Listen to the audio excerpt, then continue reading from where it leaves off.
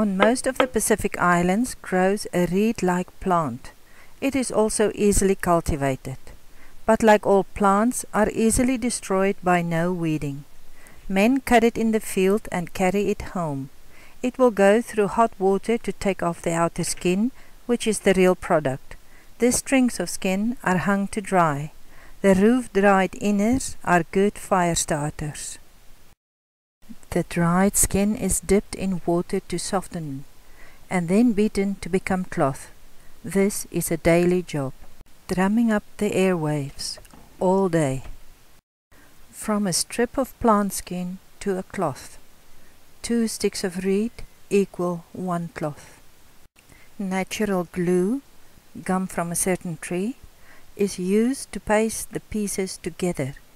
It is also a natural insecticide and used against rats. Painting is done in three ways stenciling, printing, and freehand.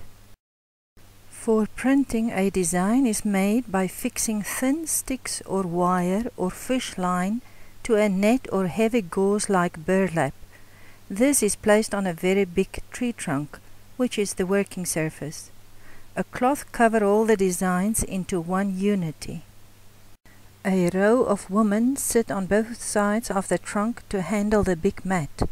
Then gently pressing over the print bed with paint cloth, the print is transferred. The backing is added and many hands needed to fold it. Job done. This is a trade's product and on some islands a major income.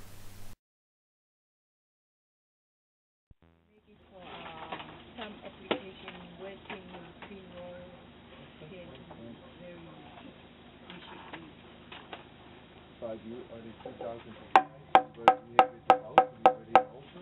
On the in Hawaii, one guy, we gave him, I don't know what stuff,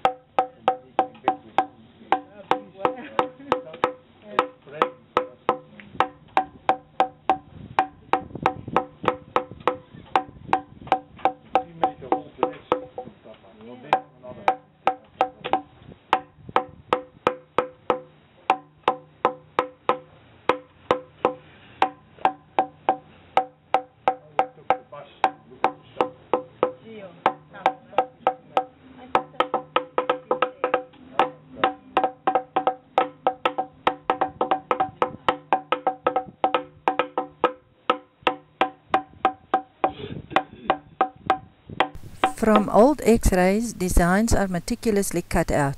Special earth is used for the red-brown color.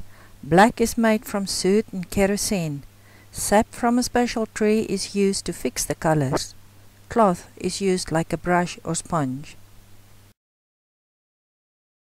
On a different island, two women painted this smaller version with bigger stencils. It will be used for a wedding ceremony of somebody in the family's child. Another island, another style.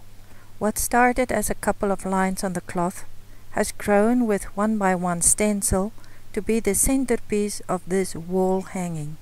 A whole community worked at this very big and intricate masi that was for a special government occasion.